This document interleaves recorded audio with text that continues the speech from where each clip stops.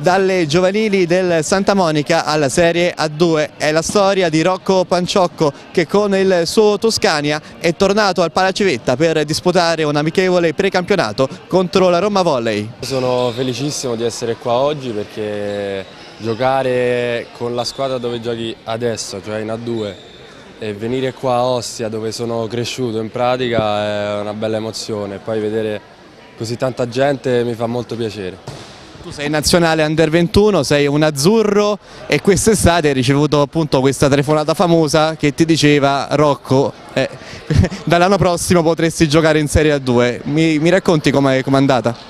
Sì, eh, l'allenatore Bruno Morganti l'ho avuto per tre anni a Club Italia e mm, diciamo che non me l'aspettavo, però quando mi è arrivata la sua chiamata ho accettato subito perché so che lui è uno molto bravo con i giovani e non mi sono fatto scappare di questa opportunità.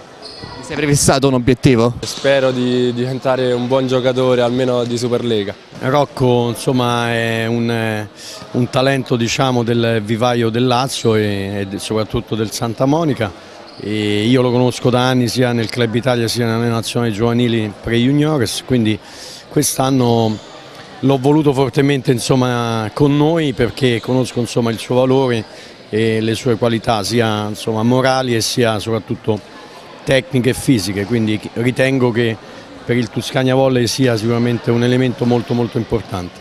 Quest'anno Rocco è uscito dal Club Italia per età, è stato nazionale under 20, quindi un, prospetto che è cresciuto, è cresciuto qui.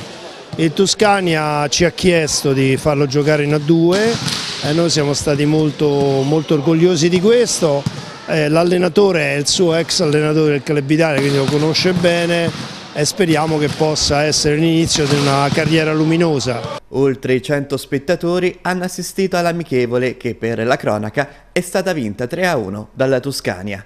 E allora ci sarà tanta curiosità per vedere all'opera in una categoria così importante un giovane del nostro territorio da Ostia per Canale 10, Valerio Nasetti.